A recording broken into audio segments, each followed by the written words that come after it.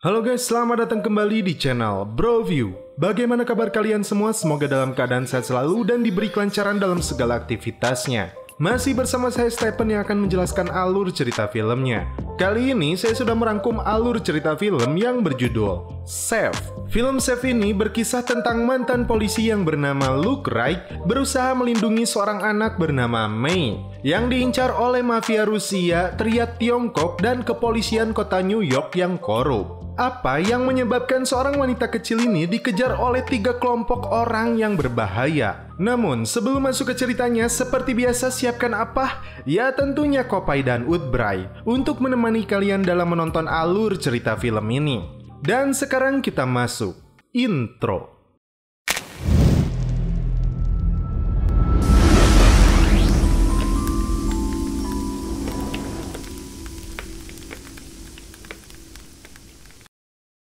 Di awal film, seorang bocah bernama Mei ditangkap oleh komplotan mafia Rusia yang dipimpin oleh Emily Dokeski. Dia memaksa Mei untuk menuliskan angka-angka yang diinginkan olehnya. Saat masih sekolah, Mei ternyata murid yang sangat cerdas dan berbakat, khususnya dalam pelajaran matematika, bahkan bisa mengalahkan gurunya sendiri. Namun, karena kecerdasannya itu, pihak sekolah memindahkan Mei untuk masuk ke sekolah khusus. Ketika sedang dalam perjalanan pulang, Mei diculik.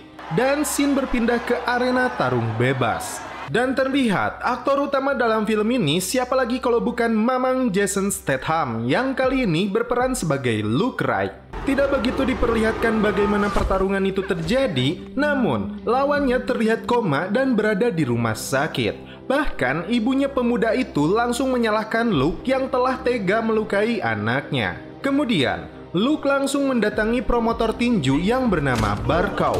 Dia langsung memberi pukulan kepadanya karena telah memasukkan seorang pemuda ingusan untuk melawannya. Barkau justru balik menyalahkan Luke karena seharusnya dia kalah di ronde kedua. Dan karena perbuatannya, dia mengalami kerugian 1 juta dolar. Mafia Rusia yang bernama Dokeski diketahui memasang taruhan yang sangat besar dan dia akan memburu Luke.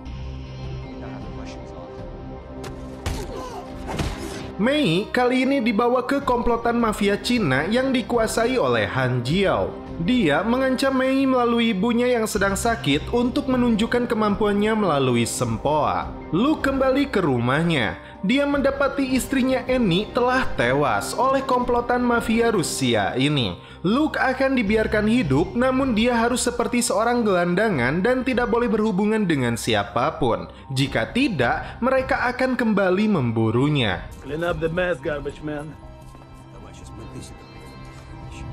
Anak buah Han yang bernama Kuan bertemu dengan Kapten Wolf, seorang polisi korup yang bekerja sama dengan mafia untuk kepentingan pribadinya. Kali ini, dia membuat dokumen dan paspor palsu agar Mei bisa dibawa ke luar negeri oleh mereka. Karena pekerjaannya itu, dia meminta jatah bulanan sebesar 10% untuk kampung Cina, Bronx 21, dan Brooklyn. Namun Kuan hanya menyetujui untuk wilayah kampung Cina saja. Kepada Kuan, dengan kecerdasan yang dimiliki Mei, dia menghitung semua pendapatan, kerugian, dan keuntungan yang didapat oleh mafia Cina ini dengan detail. Kuan kemudian bertanya tentang pendapatan dari kasino. Karena nilai yang dikatakan oleh Mei, mereka mendapatkan kerugian. Maka si pengelola kasino mendapat bogem mentah dan bukan itu saja, Kuan langsung menembaknya. Luke yang menjadi orang miskin hanya bisa makan dan tidur di rumah penampungan tunawisma. Dan karena melihat seorang gelandangan lain yang terluka di kakinya, Luke akhirnya memberikan sepatunya kepada dia. Ketika hendak tidur, Mei mendapat berita buruk bahwa ibunya telah meninggal di rumah sakit. Kini dia hidup sebatang kara setelah ayahnya pergi tidak diketahui ke mana saat dia masih jabang bayi. Di pagi hari, Luke terkejut. Pria itu telah tewas dan sepatu di kakinya menghilang.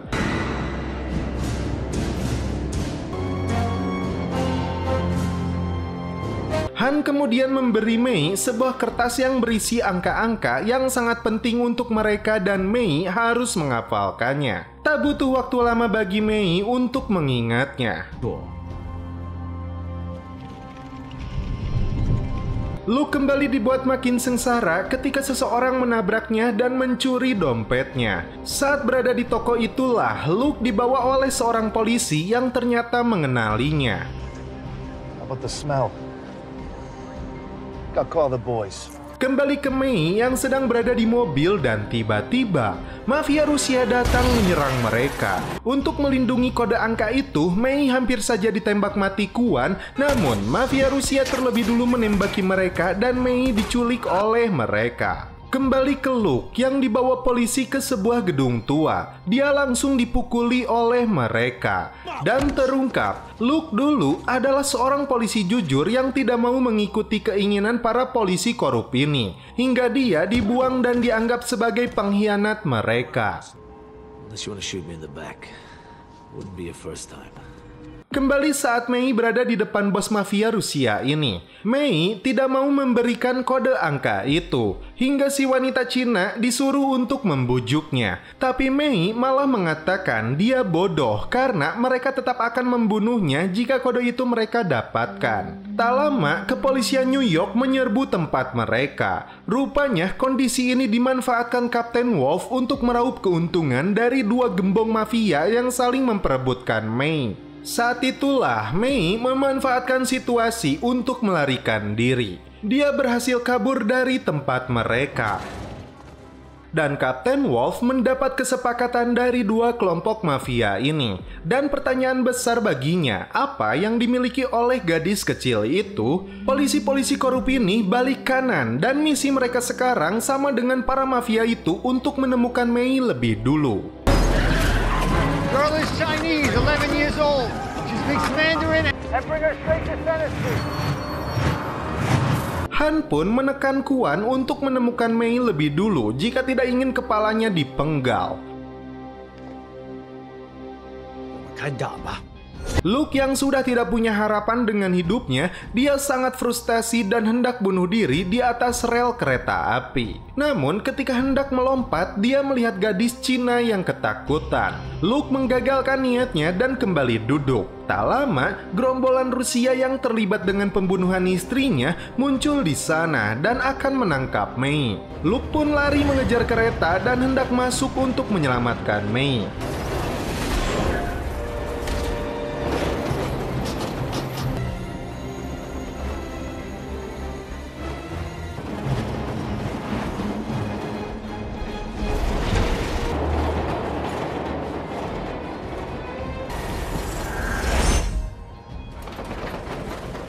Setelah berhasil masuk ke kereta, ini yang dilakukan oleh Luke kepada mereka.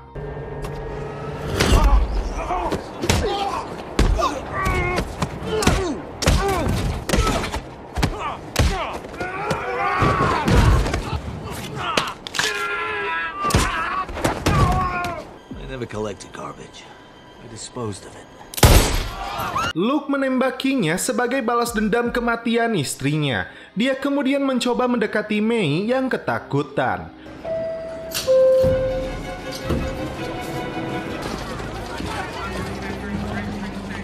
Keluar dari stasiun, Mei hampir dibawa oleh para polisi korup mantan rekannya.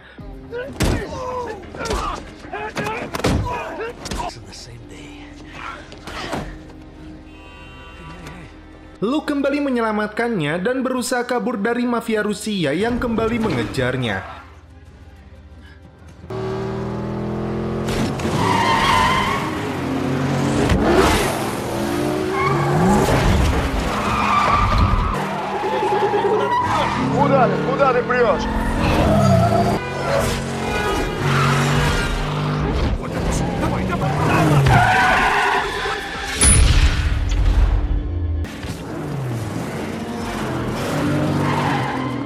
Sampai di sebuah gang buntu, Luke langsung menghabisi mereka semua.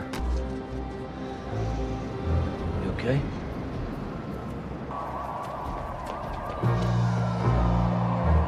Kekacauan pun terjadi di kota ini, dan Kapten Wolf terkejut karena Mei dibawa oleh Luke. Berbekal uang yang dia ambil dari mafia itu, Luke menyewa kamar hotel mewah untuk mereka sejenak beristirahat. Tak diduga, ternyata mafia Cina memasang alat pelacak di baju Mei dan mereka mendapatkan lokasi keberadaannya. Di sini, Mei berterima kasih karena Luke telah menyelamatkannya. Namun Luke merasa sebaliknya karena Mei telah mengembalikan hidupnya yang sebelumnya terasa hampa. Luke meminta Mei menceritakan angka-angka yang dia hafalkan itu, dan Luke menyimpulkan itu adalah sebuah kode berangkas yang sangat penting bagi mereka. Dan itulah kenapa Rusia dan Cina berebut mendapatkannya, bahkan sekarang polisi pun menginginkannya. Tak lama, Kuan dan anak buahnya sampai di hotel ini. Dia memaksa petugas hotel untuk memberikan nomor kamar yang ditempati oleh Luke. Hingga terjadi aksi baku tembak dengan petugas keamanan di sana.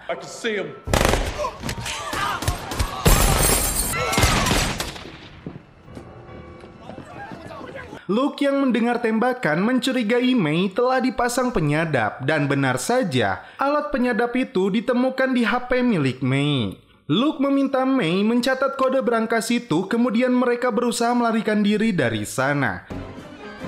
Back inside.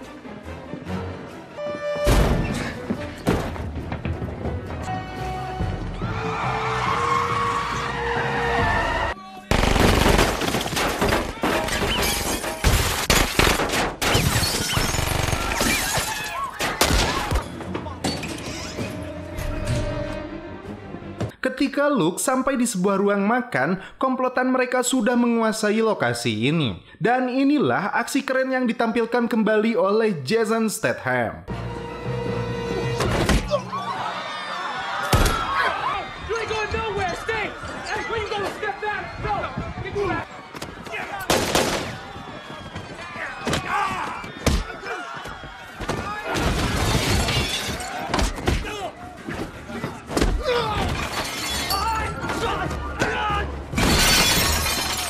Karena jumlahnya yang cukup banyak, Luke tidak bisa meladeni mereka semua. Kuan hampir saja menembaknya, untungnya dia loncat dari jendela dan menjadikan musuhnya sebagai tumpuan. Dan sayangnya, Mei kembali ditangkap oleh Kuan. Sedangkan Luke kembali kabur ketika polisi melihatnya. Hey,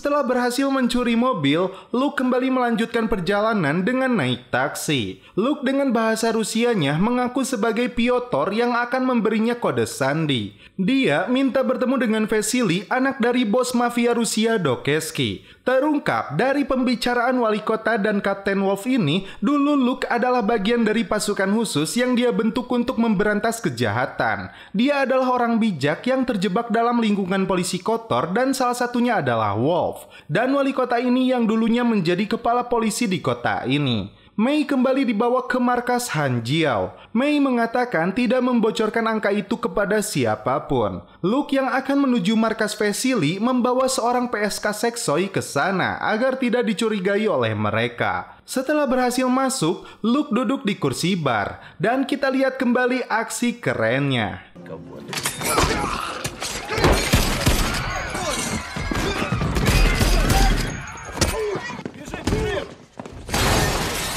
Luke meminta lokasi berangkas yang diketahui berisi 30 juta dolar. Kemudian, Luke memanggil kelima polisi korup mantan rekannya itu termasuk Kapten Wolf. Dia memberi penawaran untuk membagi 30 juta dolar itu menjadi enam bagian. Terungkap, berangkas itu berada di kasino milik Han Jiao.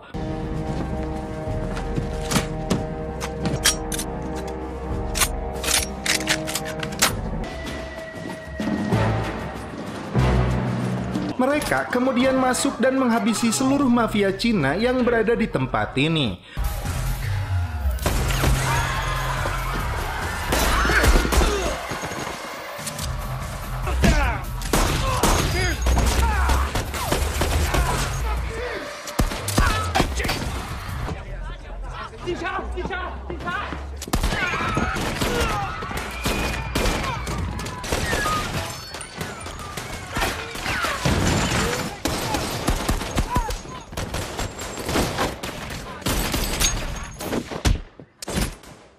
Kemudian, mereka turun menuju lokasi penyimpanan berangkas.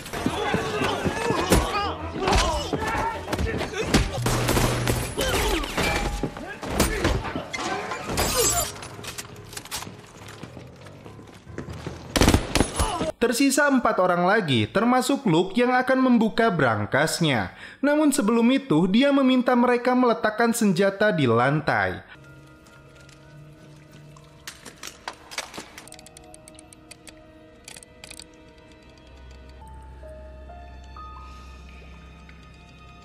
Ketika kode terakhir akan dimasukkan, Luke menembak dua polisi hingga tewas dan melukai Kapten Wolf. Mereka keluar dengan membawa uang 30 juta dolar. Kemudian Wolf dimasukkan ke bagasi disatukan dengan Vasily. Luke kemudian memberitahu wali kota tentang uang yang sudah mereka dapatkan. Dia pun dihubungkan dengan Alex, mantan rekannya dulu yang telah berkhianat kepadanya. Berangkas kedua diketahui berada di ruangan wali kota yang berisi CD tentang bukti kejahatan mereka. Alex dipaksa Luke untuk membawa May jika dia menginginkan uangnya. Kemudian Alex menemui Kwan yang membawa May bersamanya. Dengan cepat, Alex menghabisi mereka semua.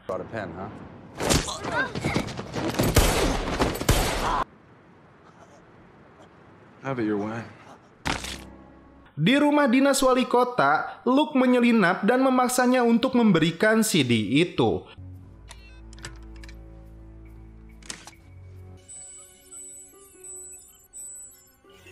Dan di keesokan harinya, Luke datang membawa uang dan menemui Alex yang membawa May. Alex hampir menembak May, namun mereka sepakat untuk bertarung dengan tangan kosong.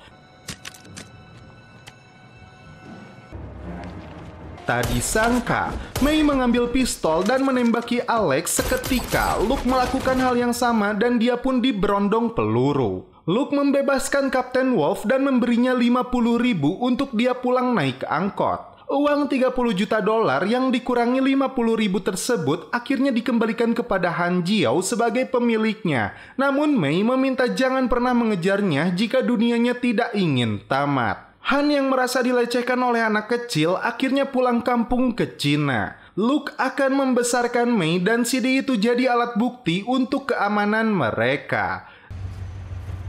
One day at a time, man. One day at a time. Dan film pun berakhir. Oke guys, bagaimana menurut kalian alur cerita film dari Chef ini? Seperti biasa, Jason Statham berperan sesuai dengan aksinya yang sudah dihafal. Berikut dengan aksen-aksennya yang bikin saya membesarkan volume film ini. Perannya yang tanggap juga selalu terlihat di tiap film-filmnya. Kadang agak bosen juga karena ketahuan ia akan bagaimana. Namun, untuk menghilangkan rasa bosen itu, kita langsung saja suruput kopainya guys.